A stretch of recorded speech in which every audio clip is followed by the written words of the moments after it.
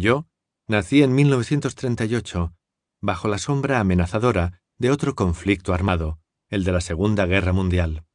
Mi padre se llamaba Tiongo Wa Nduku y mi madre Wanjiku Wa Ngugi. Ignoro qué lugar ocupo, atendiendo a la edad, entre los veinticuatro hijos de mi padre y sus cuatro esposas, pero soy el quinto hijo del hogar de mi madre. Me precedían mi hermana Gazoni, mi hermano Wallace Mwangi y mis hermanas Inyoki y Waziru, por ese orden, y me sucedía mi hermano Njinju, el sexto y último hijo de mi madre. El primer recuerdo que conservo de mi hogar es un gran patio en torno al cual había cinco cabañas dispuestas en semicírculo. Una de aquellas chozas pertenecía a mi padre, y era allí donde las cabras se guarecían por las noches.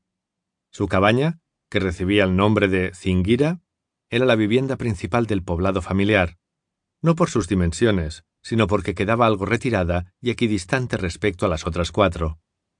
Las esposas de mi padre, o nuestras madres, pues así las llamábamos, se turnaban para llevarle comida. Las chozas de cada una de las mujeres estaban divididas en espacios que cumplían distintas funciones. En el centro había un hogar delimitado por tres piedras en torno al cual se distribuían las zonas destinadas a dormir, una especie de despensa, un gran corral para las cabras y a menudo un pequeño redil donde se cebaba a las ovejas y cabras destinadas al sacrificio en las grandes ocasiones. Cada hogar disponía de su propio granero, una pequeña choza levantada sobre pilotes con paredes hechas de delgados tallos entretejidos. El granero era la medida de la abundancia y la escasez. Después de una buena cosecha, se llenaba de maíz, patatas, alubias y guisantes. Sabíamos si íbamos a pasar hambre o no por la cantidad de alimentos que había en su interior.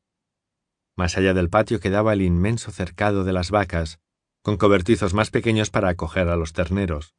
Las mujeres recogían las boñigas de vaca y los excrementos de cabra y los depositaban en un estercolero situado junto a la entrada principal del patio.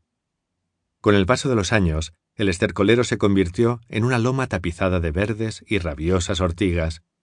Era tan inmensa que me parecía increíble que los adultos pudieran subir y bajar por sus laderas con tanta facilidad. En la falda de aquella colina se extendía un paisaje boscoso.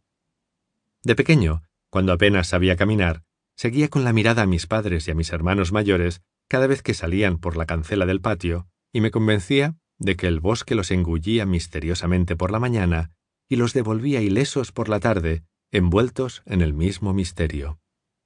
Solo más tarde, cuando pude alejarme un poco del patio, distinguí los senderos que había entre los árboles.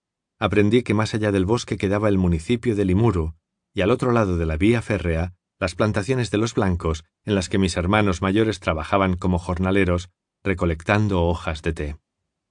Luego, las cosas cambiaron. No sabría decir hasta qué punto lo hicieron de forma gradual o súbita, pero lo cierto es que cambiaron. Las vacas y las cabras fueron las primeras en desaparecer, dejando su paso a cobertizos desiertos. El estercolero dejó de ser un depósito de boñigas de vaca y excrementos de cabra para convertirse en un basurero a secas. Con el tiempo, su altura se hizo menos amenazadora y también yo aprendí a triscar arriba y abajo por sus laderas.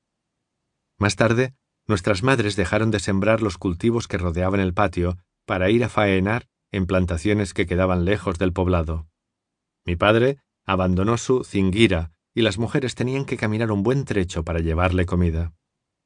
Recuerdo cuando talaron los árboles, reduciéndolos a tocones, y cavaron la tierra para luego plantar pelitre. Se me hacía raro comprobar cómo el bosque retrocedía ante el avance imparable de los campos de pelitre. Y lo más extraño de todo era que mis hermanos trabajaban como temporeros en los nuevos campos que habían devorado nuestro bosque, cuando hasta entonces Solo lo habían hecho al otro lado de la vía férrea, en las plantaciones de té de los europeos.